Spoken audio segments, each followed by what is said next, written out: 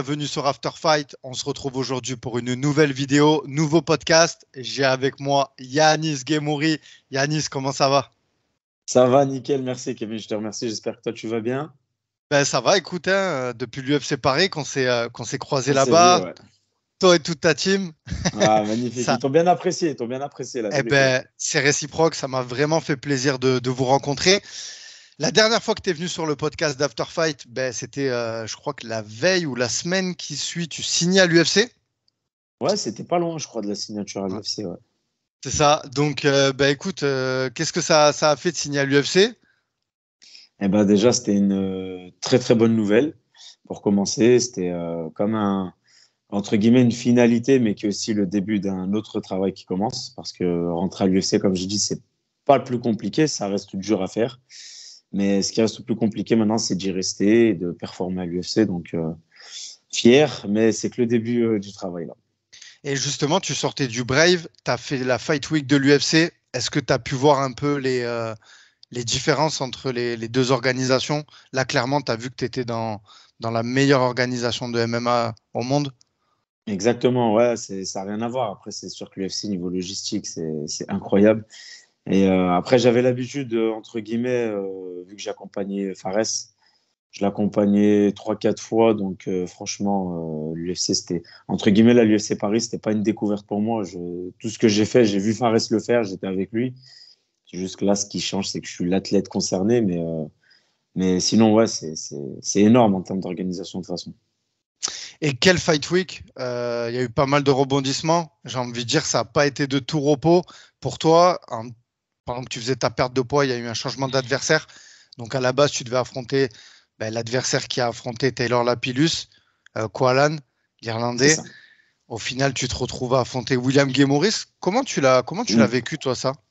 Ouais, eh ben moi je te mens pas que c'était mardi euh, quand on est venu pour Paris pour la Fight Week, on était dans le train avec mon équipe. Moi j'étais assis sur des sièges euh, tout seul à deux et je recevais des, euh, des messages dont un message de la page Yanis Gemouri Propagande, et qui me dit euh, Ouais, j'ai parlé à ton adversaire, il m'a dit euh, le combat il est annulé et tout. Je dis non, écoute-le pas, parce que toute la, toute la préparation de combat, il a fait beaucoup de posts où il mentionnait et tout. J'ai pas prêté attention, moi je rentre pas dans ce jeu-là. Je dis écoute-le pas, c'est de l'intox, il veut juste encore plus voilà, rentrer dans ma tête et tout. Après, je reçois un autre message d'un autre compte Instagram Ouais, tu vas affronter William. Un autre compte Instagram Ouais, tu vas affronter Gomis. Ouais, en fait, moi, j'y croyais pas. C'est-à-dire, même mon équipe, je ne les ai pas prévenus tout de suite. Et c'est que on était à peu près un quart d'heure de Paris quand j'ai vu la publication d'un média euh, qui, qui, est bien, en fait, qui fait pas de fake news, qui est bien connu en France. Et ben là, j'ai compris que c'était sérieux. J'ai vu l'affiche de Taylor et euh, Lou J'ai vu une affiche moi et William. J'ai dit wow. En fait, là, j'ai compris que ça devenait sérieux, mais j'ai pas compris encore ce qui se passait, le pourquoi du comment. Donc après, bah, je suis allé voir mon, mon, équipe, je leur ai montré, je leur ai dit, je sais pas ce qui se passe, mais à ce qui paraît, j'affronte Gomis.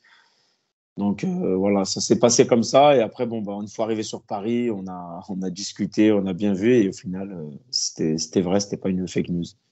Ben, clairement, c'est grâce à toi que, que William Gomis, justement, et, et Taylor Lapillus ont pu combattre. Euh, Justement, j'ai eu beaucoup de messages par rapport à ça où les gens ils me disaient, euh, ils étaient reconnaissants en quelque sorte. Ils me disaient que bah, grâce à toi, Taylor, il a pu combattre. Ça faisait 7 ans, il n'avait pas combattu en plus chez lui à Paris et à l'UFC. Euh, William, pareil, qui devait combattre, il est parisien, donc euh, beaucoup de public, de personnes qui auraient pu venir le voir. Donc, entre guillemets, le fait que je monte de KT, ça, ça c'est vrai que ça a, arrangé, ça a un peu fait les affaires de tout le monde au final. Tout le monde a pu combattre. Du coup, Yanis Gemouri vs William Gomis, euh, c'était le premier combat que deux Français s'affrontent à l'UFC.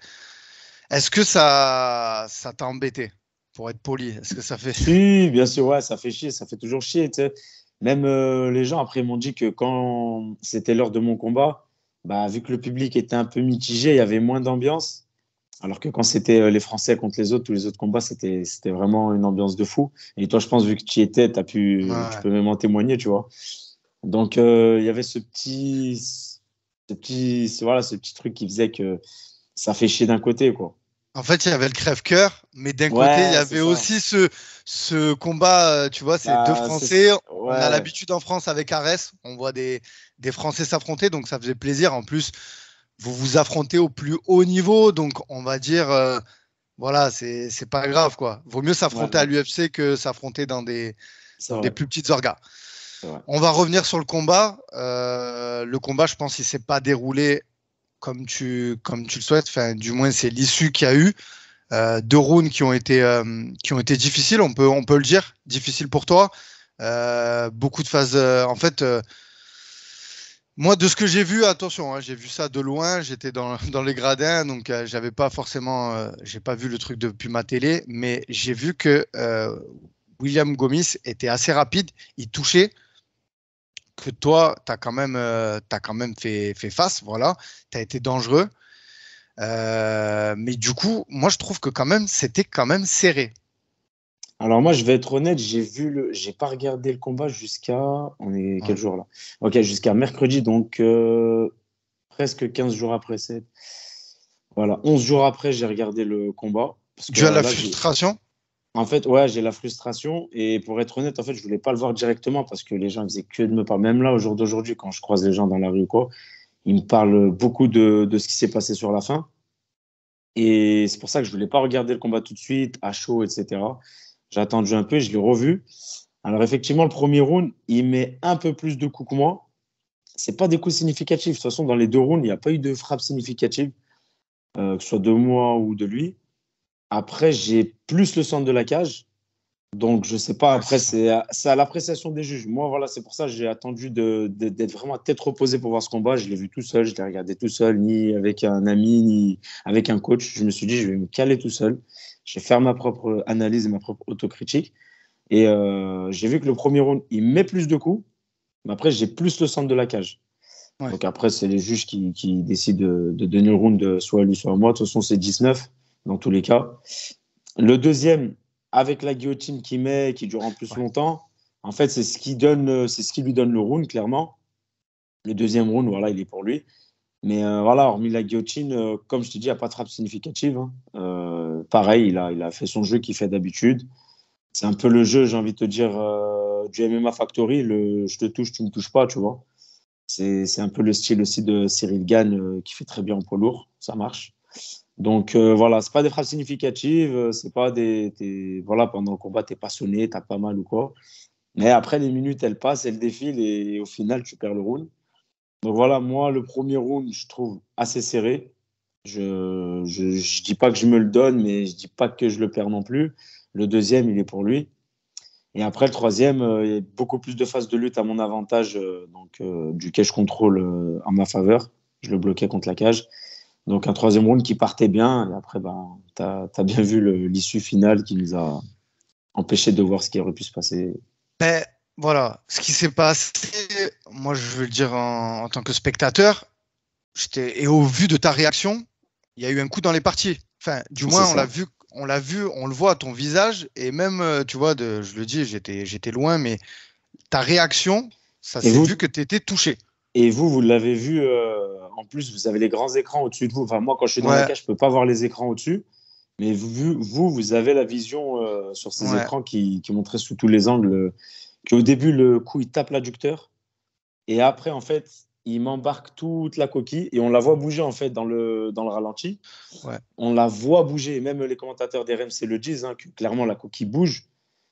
Donc euh, voilà, comme tu as dit, euh, vous, après de, votre place et même à la télé, je pense que les téléspectateurs, ils l'ont vu, euh, que la coquille bouge. En fait, le coup, il part pas directement sur la coquille, mais il finit par, par emmener la coquille de droite à gauche. Et puis moi, c'est surtout ta réaction en fait qui m'a fait voir qu'il y avait un coup parce que c'est pas la première fois qu'à l'UFC on voit des combattants qui se prennent des coups dans les parties et on le voit comme ils réagissent. tu grimaçais un peu, tu t'es direct tourné, tu as voulu aller t'appuyer contre la cage en fait, c'est ça. Moi, franchement, j'allais. Moi, quand déjà dans le round, j'ai pris deux coups dans les parties. J'en ai même pris trois, mais je vais revenir sur le troisième. Il n'y a pas eu d'arrêt entre guillemets. Euh, j'ai une vidéo que, si tu veux, je te, l'enverrai. Tu pourras, euh, pendant que, je parle, tu pourras la montrer. En fait, je prends un coup dans les parties. Bon, ça va, j'ai pas eu le souffle coupé, donc je remets ma coquille en place. Ça va. Euh, on se check, on repart. Ça arrive. Hein. J'en ai déjà mis, mais moi, en combat, des coups dans les parties. Il me le fait une deuxième fois. Pareil, bon, j'arrange ma coquille. Bon, il touche, mais voilà, ça va. C'est pas, pas au point où je dois vraiment sautiller. Quoi. On repart. Et il y a même un coup en cache contrôle. Il dira, euh, enfin, il dira, s'il est honnête, il confirmera. Je le bloque contre la cage. Il met un petit coup de genou rapide dans les parties. Il me tape, par contre, là, il me tape bien la coquille. Mais ce n'était pas un coup, euh, gros coup de genou avec beaucoup d'élan. Il était doigt à la cage. Ça fait, il l'a mis vraiment avec de la vitesse. Je fais Ah Et là, il me dit Ah, excuse-moi, frérot. Et on se tapote, il me tapote vite fait et euh, on repart. Après, je derrière, je crois que je lui mets un coup d'épaule et tout. Euh, enfin, bref, le combat, il reprend, entre guillemets. Mais si l'honnête, cette séquence, elle a eu lieu. J'ai même, je crois que c'était au deuxième round, si je dis pas de bêtises. Mais je, peux te retrouver la séquence. Et, euh, et bref, le combat s'est pas arrêté. Et arrive le quatrième coup, euh, le coup final où il met le coup, comme je t'ai dit, il part de l'adducteur et après il m'embarque toute la coquille. Celui-là m'a fait un peu plus mal. Mais euh, l'arbitre, il m'aurait laissé, je sais pas, je te dis, je te dis, une fourchette, 10, 10, 20 secondes. Voilà, je pars dans mon coin, je lève les bras, je saute vite fait. voilà, qu'on serait reparti, tu vois. Il n'y avait pas de pas de quoi. Euh, c'était pas un coup non plus où euh, j'allais, j'allais tomber par terre, à genoux, euh, coupage de respiration intensif. C'était vraiment un coup. Voilà, c'est comme il m'a mis un peu avant, un peu plus fort. Mais le combat, il aurait très très bien pu repartir. D'ailleurs, on a pu voir juste derrière Benoît avec Moïse. Il y a eu plusieurs coups dans les parties. Bah, l'arbitre, il a laissé le gars récupérer et, le combat, il est reparti. Quoi. Enfin, voilà, il n'y a pas eu de pas eu de, d'événements bizarres. Il n'y a pas, pas, pas lieu d'arrêter le combat. Quoi. Ah ben justement, moi je voulais recevoir Loïc Pourra pour avoir sa version parce que sur le moment hein, et tout le public hein, qui était dans, qui était avec moi, on, s'est tous regardés, on s'est dit mais, enfin voilà, je pense que si vraiment tu avais eu un coup euh, dans les adducteurs ou euh, au ventre ou quoi, enfin. En plus, on n'a pas. Bah, regarde, je vais donner un exemple de ce qui est juste avant moi, je crois Morgan. Mmh. Il lui a mis un coup dans le ventre. Ouais, ouais, ouais. grave. En fait, en fait, pour ça, faut, faut être entre guillemets un combattant. On va avoir déjà pris des coups au ventre ou au foie quand on a mal au foie, on a déjà pris des crochets au foie à l'entraînement par exemple, on a, on a, on a direct l'instinct de se plier en deux quand, parce que le coup il fait vraiment mal au foie. On se plie en deux et on met même nos mains, euh, c'est un réflexe humain. On met même nos mains au niveau de la douleur et on se plie en deux, on a mal, comme son adversaire, la réaction qu'il a eue. Ouais, c'est clair, c'est clair. Voilà, c'est en fait, c'est humain cette réaction. Et moi, j'ai fait ça. Le coup, on a même vu que j'ai essayé de l'éviter. Je fais un retrait de, de buste un peu, je recule un peu mes jambes et mes fesses. Le coup, je le prends, boum, ah, en bout de course, putain, j'arrange un peu la coquille. Mais moi, ce que j'ai pas compris de, de l'arbitre, c'est que dans le doute, en fait, le coup, il est tellement proche qu'à ce niveau-là, tu n'as pas le droit de, de, prendre une décision comme ça aussi rapide. Dans le doute, vaut mieux qu'il me laisse repartir dans mon coin. Et il me dit, il me dit, je vais vérifier où tu as pris le coup. Si par contre, il n'est pas dans les parties, j'arrête le combat. Et je sais pas, il va voir, les caméras, les télévisions des commentateurs, ils sont juste en bas de la cage. Tu sors, tu vérifies, tu perds 30 secondes, voire une minute de combat, c'est pas grave. L'essentiel, tu prends une bonne décision et le combat, il serait reparti parce que lui-même, il aurait vu qu'il m'embarque la coquille de, droite à gauche, tu vois. Mais lui, il a directement pris sa décision. Il n'a pas cherché à lever le doute. Ah, puis apparemment, pendant que tu avais le dos tourné, il a, il a, il a fait bah, signe de continuer de combattre. Je crois, William Gomis, euh, a pas été. Justement, ça, moi, je l'ai pas vu de l'axe où j'étais. C'est ça. Mais je veux dire. Euh, en fait, il a même, moi, j'ai vu, c'est sur les ralentis de, tu sais, où bah, on voit partir. Déjà, en fait, moi, je l'avais pas vu parce que j'étais dos. Il faisait déjà signe d'arrêter le combat pendant que j'étais dos et que je marchais dans mon coin. Et ça, c'est que après avec les caméras euh, que j'ai pu le voir. Et on avait une Gomis, je sais pas, il parle à Lopez dans son coin et je crois même Lopez, il lui dit d'aller me finir, mais même lui, il va pas me finir. Moi, je te dis honnêtement, Kevin, si mon adversaire, je le touche vraiment dans le ventre, j'en suis persuadé, français, pas français, que ce soit un ancien sparring partner, ce que tu veux, c'est le combat. Je vais, je le finis si je suis sûr de mon coup. Tu vois ce que je veux dire? Bah, Si j'ai un, doute, si j'ai un doute, j'y vais pas. Mais si je suis sûr de moi, que je l'ai touché dans le ventre, que voilà, même on regarde les caméras, j'en suis sûr que voilà, il n'y aura pas de doute. Je suis désolé, j'y vais, euh, je le finis, c'est le MMA, tu vois, et on arrête l'arbitre, il arrêtera le combat par TKO, tu vois. Ah, parce qu'à l'inverse, c'était toi qui avais mis ce coup dans les parties à William Gomis et qui se serait mis dans cette posture et direct tourné euh, vers, euh, vers son coin pour aller récupérer, tu aurais pas. Voilà. Non, dans le doute, franchement, dans le doute, je serais pas allé. Dans le doute, j'y serais pas allé, tu vois. Et comme lui, instinctivement, il n'est pas venu me finir. ouais. Il aurait pu hein, venir, euh, je suis dos, il met des crochets, tu vois. Enfin, il aurait pu faire euh, ce qu'il veut, tu vois, même mettre un coup de pied, enfin, je sais pas. Mm. Mais il parlait à son coin, son coin lui disait d'aller venir me finir et lui, il n'a pas voulu, tu vois. Ben ouais, parce que s'il y a coup dans les parties et que tu vas, tu vas frapper ton adversaire, c'est là, c'est. Bah là, franchement, déjà que gagner comme ça et s'en réjouir, c'est pas beau. Mm. Mais si en plus il y aurait eu l'action du, du Grand Pound et on aurait vu que c'était un coup dans les parties plus Grand Pound derrière, puis tu l'as très bien dit, juste avant, il y a eu un, il y a eu un chaos euh, au foie euh, comme ça. Donc, c'est vrai que quand on a vu le, la différence, voilà. enfin, quelle déception. Voilà, en fait, la réaction, elle est, elle est, humaine. Tu peux pas mentir. Quand tu prends un crochet au foie, on en a déjà tous pris à l'entraînement ou quoi, on arrive, c'est impossible de mentir. Et même tes mains, quand tu as tellement mal que tu vas pas, même si tu veux faire semblant, admettons que tu as mal au parti, bah, tu vas pas mettre tes mains au niveau des parties, tu vas les mettre au niveau du foie. Tu vas vraiment, tu vois, bien sûr, tu vas te plier, tu vas te plier. Voilà, c'est ça, c'est ça, c'est exactement. Et euh, donc à la suite de ça, ben justement, je crois qu'il y a Michael Bisping qui, euh, qui dit non, mais c'était un coup, euh, c'était un coup bien placé, tout ça. Bon, de toute façon, là, quand la décision elle a été prise, d'ailleurs, c'était un peu c'était un peu dommage parce que euh, William Gomis, il avait un, beau message à faire passer. Je crois qu'il a perdu quelqu'un de sa famille, tout ça. Au final, il n'a même pas pu être écouté. Euh, tout le public, il a eu. Oui, ouais, ouais, ça a eu fort. Franchement, j'étais dans bah, on, a, on a été déçus. On a été déçus parce qu'on en attendait quand même de ce combat.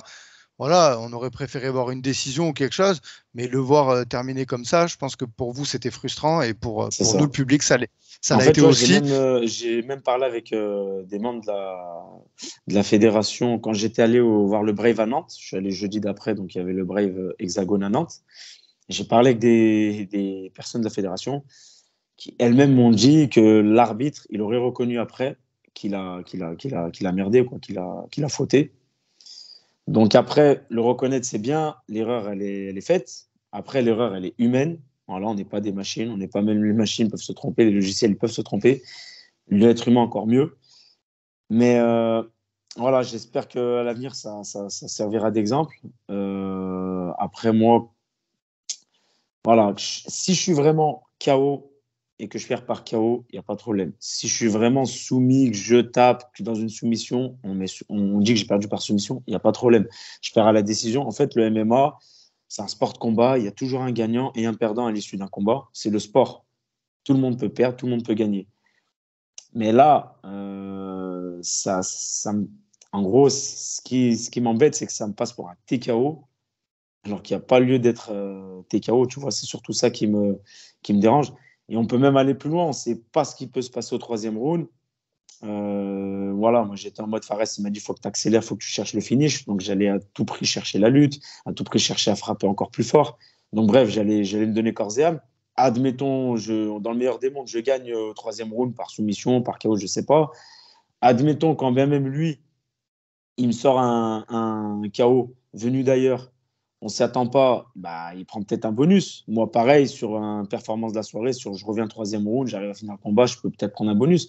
Donc peut-être que, en fait, l'erreur de l'arbitre, elle a été grave dans le sens où, en fait, il, a peut-être enlevé des sous à William. Moi, il m'a enlevé des sous, mais il aurait peut-être, il a peut-être, euh, m'aurait peut-être enlevé plus d'argent. En fait, il y a des pertes au niveau de la carrière, il y a des pertes au niveau économique, parce que quand on est perdant, on est payé comme un perdant, et quand on est gagnant, bon, on touche plus d'argent. Donc euh, voilà, c'est des décisions à ce niveau-là. On n'a pas le droit de prendre des, enfin, de faire des erreurs comme ça. C'est, il y a beaucoup de conséquences. Il y a beaucoup de conséquences euh, quand on fait des erreurs comme ça à ce niveau-là. Et puis pour le sport aussi, je veux dire, on est en 2023, on a, comme tu l'as dit, on a des caméras, on a des écrans. Il y a je tout. Veux dire, euh, je ne sais, je sais pas si Rennes n'empêchait l'arbitre de dire pendant deux minutes, bon, je vais regarder comme un peu au foot, hein, ils ont la VAR. Hein, bah, c'est ça. voilà, voilà. Et au foot, on voit bien qu'il y a beaucoup, beaucoup, beaucoup de décisions qui sont changées suite au visionnage vidéo. Donc, tant que ça peut aider à être dans les règles du sport, il bah, n'y a pas de problème, tu vois. En fait, moi, voilà, je peux perdre un combat à la décision. Là, peut-être que j'aurais peut-être perdu la décision, je ne sais pas. Je peux perdre par chaos, je peux perdre par soumission. Oui. Mais il faut vraiment que ça arrive, en fait. Moi, j'accepte la défaite. Mais là, euh, dire, ouais, t'es KO, alors qu'il n'y bah, a pas de TKO du tout, c'est embêtant en fait. Même sur le palmarès, tu vois, quand tu perds la décision, quand tu perds par chaos, c'est pas pareil. Ça n'a pas la même euh, signification, tu vois. Bon, il y a un peu tous les médias qui, qui, sont, qui sont revenus dessus, on en a un peu parlé, l'histoire, euh, enfin voilà, la décision, elle s'est tassée. Et là, ben, il y a eu un tweet, je crois, d'un certain Notorious MMA, Conor McGregor. C'est ça. En fait, j'ai vu un, un tweet où, où excuse-moi de te couper, où en grosso modo, il dit que, que le coup, en mettant la vidéo de, du coup de pied dans, dans, les parties, il dit que le coup est légal. Après, j'ai vu que. Enfin, en fait, c'est qu'on m'a envoyé. Hein. Sinon, moi, je ne prête pas attention à tout ça. Après, on m'a envoyé aussi que William euh, aurait remercié Connor. Euh, ouais, merci. Euh, moi, je suis désolé. Demain, je gagne comme ça. Je te dis la vérité. Pour être honnête, je gagne comme ça. Bah, écoutez, entre guillemets, c'est le sport. J'ai gagné mais je vais pas être fier, je vais pas, tu vois ce que je veux dire. Je vais, je vais pas non plus me faire tout petit, mais je vais pas non plus euh, parler, crier sur les réseaux, j'ai gagné, j'ai gagné, j'ai ci, j'ai ça par KO. Surtout que là, regarde, moi tu m'as bien vu, j'en ai pas parlé pendant ces 15 jours. J'en ai pas parlé, pourtant je, je bouillonne en moi parce que c'est de l'injustice complète et personne aime être dans la peau de subir une injustice. Mais là, quand je vois ça, franchement, c'est, là c'est bon, c'est plus fort que moi, je suis obligé d'en parler, je suis obligé de, m'exprimer. Quoi. Ouais, puis lui, en fait, euh, j'ai vu la, la, vidéo en story. Justement, il dit comme quoi qu'il y a beaucoup de gens qui, qui, sont venus en privé lui dire bah, c'était bien KO, euh, voilà, t'as as fait pareil, ce qu'il fallait. Moi, pareil, hein, c'est la même chose. Et franchement, j'ai 90%, et, et, je vais te parler même des gens lambda, c'est-à-dire des gens qui sont juste fans de MMA, qui regardent le MMA de loin, des gens du milieu, des combattants, des entraîneurs, des managers, des médias des chaînes de télé qui, clairement sont venues me dire bah ouais, il y a coup dans les parties. En fait, faut être honnête parce que, comme j'ai dit sur ma story, qu'on m'aime ou qu'on m'aime pas, qu'on aime ou qu'on n'aime pas William, qu'on soit, euh, qu'on soit un fan de William Gomis, qu'on soit un fan de Yanis Guémouri, en fait là, c'est pas question d'être fan, d'être supporter, de préférer tel ou tel combattant. Je te pose la vidéo, comme je l'ai mis sur ma story, je te pose la vidéo. Tu dois en juger les faits. Bah, les faits, ils montrent, en fait, même si, si je suis désolé, même si t'aimes William Gomis, la vidéo montre que la coquille, en fait, je sais pas comment dire, c'est on voit que la coquille bouge. Donc à moins que toi, euh, Kevin, moi, les commentateurs d'RMC, on a bien vu même Taylor Lapillus, Antoine Simon, enfin ils disent tous la même chose, que la coquille bouge. Enfin, je pense qu'à un moment donné, on n'est pas, on n'est pas fou, on n'est pas aveugle, on n'est pas malvoyant. Tu vois ce que je veux dire? C'est comme si un mec, euh, je vais te donner un exemple, un peu bidon, mais voilà, on va comprendre un peu où je vais en venir. C'est comme si un mec va dans, un, dans une supérette, il y a la caméra, on voit qu'il a volé euh, quelque chose. Et le mec, il, nie, il va nier au commissariat, mais la caméra va montrer que c'est lui qui a volé. Bah, à un moment donné, si elle montre que tu as volé, tu ne peux plus nier les faits, en fait. C'est la caméra qui parle, c'est la vidéo qui parle. Là, c'est pas comme si euh, c'était par rapport à un ressenti, ma parole contre la sienne. Il y a la caméra, il y a la vidéo qui le montre clairement. Donc, à un moment donné, il faut, faut pas, je sais pas s'il a peur que la décision soit changée ou quoi. Donc, il veut. Voilà, je pense que son entraîneur aussi euh, a dû lui dire tu maintiens cette version jusqu'au bout. Tu dis que non, c'était un coup légal, c'était un coup légal, c'était un coup légal. Je sais pas s'il a peur de ça, mais à un moment donné, tu peux pas te mentir à toi-même et tu peux pas mentir quand il y a la vidéo qui le montre. Enfin, je sais pas, je trouve que c'est insensé de, de, continuer à rester buté sur son sur sa décision alors que, enfin, je sais pas, c'est les caméras qui parlent, tu vois. Ouais. Ouais, c'est vrai que c'est une situation compliquée euh, euh, que, qui se passe là. Et, euh, et, justement, je sais que ton manager, Guillaume Pelletier, il, il, a à cœur, de, quand il y a des injustices comme ça pour ses combattants, d'essayer de, faire le maximum pour transformer ben, cette décision, justement. Est-ce qu'il y a quelque chose? Vous envisagez quelque chose? Comment ça se passe là? Bah, je sais pas. Après ça, c'est vraiment Guillaume qui gère. Euh, en tout cas, moi, ce que je souhaite du plus profond de mon cœur, c'est que justice soit rendue. Parce que, comme on peut le voir sur, euh, sur, euh, sur la vidéo que j'ai mis dans ma story, je prends pas que un coup dans les parties. C'est pas le seul coup que je prends dans les parties. J'en prends plusieurs. Donc, à un moment donné, même l'arbitre, je vais pas lui apprendre son métier. Mais on connaît tous le règlement. À un moment donné, tu donnes au moins un avertissement verbal au gars, tu vois. Moi, quand j'ai combattu les Warriors, j'ai pris deux coups dans les parties. Première fois, bon, il lui a rien dit. Deuxième fois, il lui a dit fais gaffe, prochaine fois, tu as une sanction. Et ben la troisième, c'est au troisième round, il m'a mis des coups de coude derrière la tête. Mais vu que ça faisait plusieurs coups interdits, pourtant c'était pas un troisième coup dans les parties, et ben il lui a mis un point négatif. Tu vois ce que je veux dire? Ça veut dire qu'à un moment donné, quand, quand, le mec il enfreint le règlement plus d'une fois, ça, tu dois même le sanctionner, tu vois? Donc euh, après, je sais pas pourquoi Loïc il a il a décidé d'arbitrer ainsi. Je ne sais pas si peut-être la pression d'arbitrer le premier combat franco-français, je ne sais pas, tu vois. Après, euh, son erreur, elle reste humaine, tu vois. Mais voilà, même de sa part, j'ai pas eu de, de message ou quoi, de ouais, de, d'excuses ou quoi que ce soit, tu vois, parce que l'erreur, elle est manifeste, tu vois, c'est indéniable.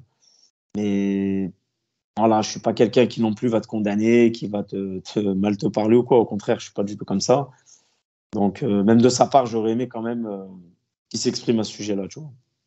Ouais, puis, euh, puis on l'a vu, ta réaction directe après, quoi. Tu as, fait le tour de, de l'octogone, on le voyait, tu étais, étais, comme étais en feu, quoi. Eh ben, j'entends dans les. Euh, quand j'ai vu mon combat, on m'entend dire, mais il est sérieux, mais il est sérieux, lui. Mais En fait, j'y croyais pas. Et il y, a même, euh, il y a même un officiel de l'UFC, parce que même mon coin, on les entend, qui ne comprenaient pas ce qui se passe. Moi, vraiment, je comprenais pas pourquoi il avait arrêté le combat. Et même mon, mon coin, il y, a un, il y a un mec de l'UFC, il les a regardés, il leur a dit, c'est une décision complètement injustifiée, mais je suis désolé, mais là, il a arrêté le combat. Tu vois. Même lui, il a, sur le coup, il a directement, pourtant, euh, il n'a pas eu le temps de voir les, ralentis, etc. Mais même lui, il, a, il leur a dit, euh, il l'a dit plus précisément à Fares que c'était une décision euh, comprenait pas, tu vois. Ouais, justement, vous en avez discuté avec Fares. Est-ce que j'imagine que ça, ça a dû pas être évident aussi euh, vis-à-vis de ton, ton, équipe, que ce soit Big Jam, Fater, tout ça. Je sais que direct sur les réseaux, ils ont dit bon, peu importe la décision, on avance, euh, voilà, euh, passer, euh, passer le bah, problème. Ça. ça veut dire que j'ai aimé leur réaction parce que même en subissant une injustice, bah, on n'a pas crié, on n'a pas hurlé au scandale, on n'a pas, tu vois ce que je veux dire? C'est pour ça que moi, là, je, vois que de l'autre côté, ça parle, alors qu'ils sont, sont, sont, clairement dans, dans, la mauvaise position. Je comprends pas, tu vois. C'est-à-dire que nous, on est là, on parle pas, on, on laisse les choses se faire, on avance. Et de l'autre côté, euh, bah, limite, euh, en fait, limite, il fanfaronne, en fait. Euh, on est fiers, regardez, enfin, je sais pas, je comprends pas cette, ouais, bah, mentalité, en fait. T'as Conor McGregor qui le félicite, donc, au, lieu de, voilà, donc au lieu de peut-être passer, passer outre et dire quand même, je, voilà, il me félicite, mais. Je me fais tout petit. Bah, moi, c'est ce que j'aurais. Voilà, moi, dans. Je pense que pour ceux qui me connaissent bien, dans ma mentalité, franchement, que ce soit même n'importe quel athlète de haut niveau, là, ça peut être je sais pas, un grand John Jones, il m'aurait félicité euh, pour ma victoire et tout. Ah, si je gagne comme ça, euh, ok, ça fait plaisir intérieurement, c'est vrai, parce que c'est John Jones, par exemple.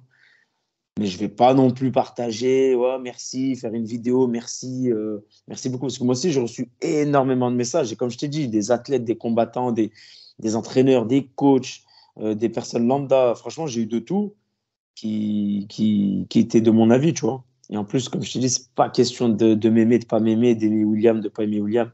C'est écoute, je t'expose la vidéo, elle est devant toi. Maintenant, si toi, tu vois, tu vois pas de coquille bouger, par exemple, bah, tu peux mentir aux gens, mais tu peux pas te mentir à toi-même en fait. Du coup, euh, toi, tu vas vouloir avoir une revanche. Est-ce que tu en fais une affaire personnelle si jamais il n'y a pas. Moi, clairement, je te dis la vérité. De base, j'ai rien du tout contre William Gomis. Vraiment, même, on, s'est croisé plusieurs fois la Fight Week. On s'est dit bonjour euh, vraiment avec respect. Euh, voilà, même lui, dans, dans, dans, les interviews, voilà, il disait bon que ça ne l'arrange pas d'affronter un Français. Moi, c'était pareil. Vraiment, ça nous Vous avez fait le job. Ouais. Voilà, et même, euh, je, tu veux je te dis, le jour du combat, je, quand, je sais pas si tu te rappelles à l'hôtel, on descend l'escalator pour aller en bas. Voilà, la pesée. Et eh ben c'est ça. Et eh ben on allait en bas et William il était avec, ses coachs. Ah, avec Fares, c'était vraiment le jour du combat, c'est-à-dire 18h30 euh, rendez-vous en bas. On avait rendez-vous en bas pour partir à l'événement. Bah, on allait leur dire bonjour, tu vois, on s'est vu, euh, voilà, euh, bonjour, dans le respect, tu vois, alors que c'était le jour du combat. On allait trois heures après, on était dans la cage l'un en face de l'autre, tu vois. Bah, je dis bonjour à lui, à ses coachs. Je suis parti, tu vois. Mais là, comme je vois sa réaction, franchement, c'est pas du tout sport de vraiment faire play de sa part. C'est pas une réaction de. Oui, voilà ce que, ce que Yanis. C'est pas respectueux en fait. Ce que Yanis il veut vous expliquer surtout, c'est qu'il n'y a pas d'ambiguïté entre les deux, qu'ils se respectent, que voilà, aujourd'hui, euh, si tu prends la parole et que tu veux euh, parler de ça, c'est c'est pas parce que tu as quelque chose envers William, bien au contraire, c'est envers la décision et, et ses réactions justement qui. qui voilà, c'est ça. C'est ça, en fait, c'est de base, pendant 15 jours, bah, il se passait rien. Et là, j'ai vu la vidéo, il a parlé, limite, il est heureux. Euh, ouais, j'ai mis un KO. Euh, quand je dis KO, c'est KO. Ah non. À un moment donné, tu peux, tu peux pas. Je suis désolé, je, suis gentil. Moi, j'ai vraiment j'ai de l'animosité envers personne. Ça reste que du sport. Vraiment, j'ai rien contre les athlètes, ni contre mes adversaires, mes anciens adversaires. Vraiment, j'ai rien contre eux. C'est que du sport. Mais, euh, mais quand je vois cette réaction-là, bah, d'une, ça me déçoit. Et deux, ouais, bah, moi, déjà, il ne serait pas question de parler de revanche. Parce que pour qu'il y ait une revanche, il faut qu'il y ait un combat complet, enfin, du moins, une vraie décision, entre guillemets, mais plus d'un rematch. Moi, je te dis la vérité, si l'UFC après, je sais que bon, euh, je vais, je vais retourner chez les 61 kilos, il va rester en 66 kilos. Mais si l'UFC propose un, c'est pas un combat ou quoi, euh, un rematch ou quoi, euh, moi je serais totalement ouvert à, faire un, rematch avec lui. Ok. Bon. À 66, il n'y a pas de problème. On retourne à 66, il n'y a pas de problème. Ok Yanis, ben, je pense qu'on va qu'on va clôturer qu'on va clôturer le podcast sur sur ça. Est-ce que euh, est-ce que tu as un dernier message à faire passer euh, pour les auditeurs, pour euh, les gens qui te suivent Parce que je sais que tu es extrêmement suivi quand même, tu as reçu beaucoup de messages de force. Voilà, malgré cette injustice, moi, tu le sais, je m'en cache pas, je t'apprécie énormément et, et j'aurais, j'aurais voulu une autre décision pour ce combat, que ce soit, que ce soit la, bien sûr la, la, victoire, mais surtout qu'il n'y ait pas cette injustice, tu vois. Bah, c'est ça, en fait, je pense que. Dit, voilà. voilà, tout le monde déteste l'injustice. Franchement, quand, on hmm. subit une injustice, c'est frustrant. Tu l'as vraiment, j'arrive pas à le digérer parce que c'est injuste. Comme je t'ai dit, limite, j'aurais préféré prendre un vrai chaos, tu vois, un chaos de dos à la tête. Mais au moins, bah, écoute, ah ouais, j'ai pris, qu'est-ce qui se passe euh, Ouais, bah, t'as pris un chaos, écoute, machin, tu vas retourner à l'entraînement, on va te reposer. Bah, ok, tu vois. Mais pas quand c'est injuste comme ça, parce que je pense que ça leur sera arrivé de leur côté. Ils auraient réagi même peut-être pire que moi.